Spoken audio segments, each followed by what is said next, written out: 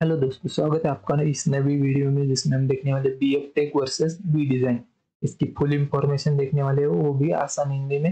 हम एलिजिबिलिटी भी देखेंगे, उसके लिए क्या फ़ीस लगती हो, ये भी देखेंगे। और इन दोनों से अगर आप कोई भी कोर्स करते हो तो उसका स्कोप कैसा रहने वाला है, वो भी देखेंगे। और उसके बाद सैलरी भी देखने वाले लास्ट में तो चैनल पे नए हो तो सब्सक्राइब कर देना।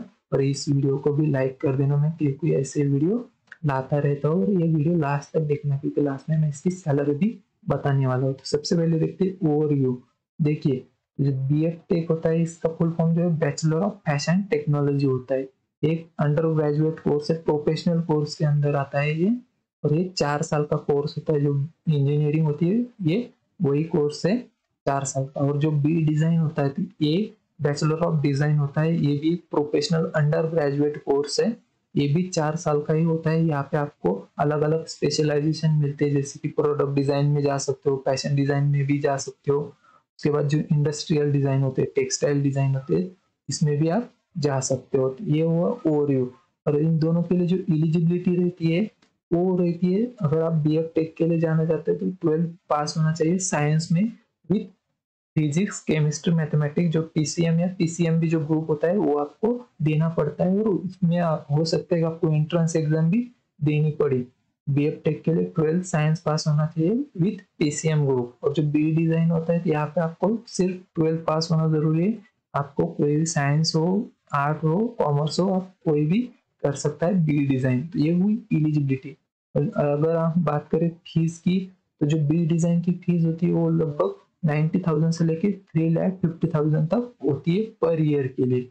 और जो बी एफ़ टेक की इसकी फ़ीस जो है, वो नाइन्टी फाइव थाउज़ेंड से लेके थ्री लैख तक होती है पर ईयर के लिए। तो देखिए, इसके बाद जो है स्कोप तो स्कोप अगर हम देखेंगे तो जो बी एफ़ टेक है तो इसके बाद आप टेक्निकल आर्टिस्ट हो सकते हो फ़ैशन मार्च डिज़ायर के बाद जो क्वालिटी कंट्रोल होती है तो ये आप बन सकते हो बी एफ़ टेक के बाद। और जो बीट डिज़ाइन है अगर आप ये कर सकते करते हो तो वहाँ पे जो आप डिज़ाइन डायरेक्टर बन सकते हो फ़ैशन डिज़ाइनर एंटरप्रेनर भी आप बन सकते हो और जो टेक्सटाइल एंड सरफेस डेवलपर होते हैं तो वो भी आप बन सकते हो। अगर वैसे देखोगे तो दोनों का स्कोप बहुत अच्छा है। अगर आप दोनों में से कोई भी कर कर सकते हो तो आप कर लीजिए आपको कोई भी दिक्कत नहीं आएगी क्योंकि दोनों ही आपको जो है डिज़ाइन के बारे में आपको अच्छी जॉब और आप, आपको जो पोस्ट होती है वो भी अच्छी मिलेगी और पैकेज भी अच्छा मिलेगा। और सैलरी की बात करेंगे तो देखिए सैलरी जो होती है बी की जो सैलरी वो है, छह लाख से लेकर नौ लाख तक का आपका जो पैकेज है, वो साल के लिए एक मिल जाएगा। और जो बी डिज़ाइन है तो यहाँ पे देखिए आपको साढ़े चार लाख से लेकर साढ़े आठ लाख तक का पैकेज मिल जाएगा। ये पर ईयर के लिए होता है, और एक एवरेज सैलरी निकली हुई है।